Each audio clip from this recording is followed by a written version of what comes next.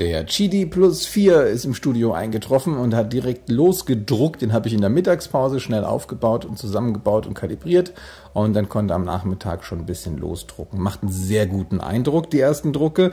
Die Filamentrolle oben, Zuführung links Geil, das ist so cool. 305 mal 305 mal 280 ist das Bildvolumen und das kann man auch schön dann ausnutzen über die ganze Platte. Hinten wird die Nozzle abgestriffen in diesem Silikon und rechts ist nochmal so eine Anti-Oosing-Plattform, dass die Nozzle beim Aufheizen nicht ausläuft. Die Layer, darüber brauchen wir uns gar nicht unterhalten. Der macht das einfach grandios hat da auch im Standardprofil bis 500 mm die Sekunde losgelegt, macht das echt top, kann mich nicht beschweren.